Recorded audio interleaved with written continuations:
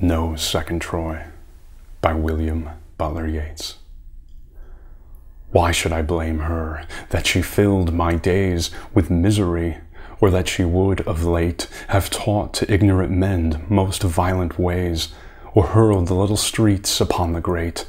Had they but courage equal to desire, what could have made her peaceful with a mind that nobleness made simple as a fire? With beauty like a tightened bow, a kind that is not natural in an age like this, being high and solitary and most stern. Why, what could she have done, being what she is? Was there another Troy for her to burn?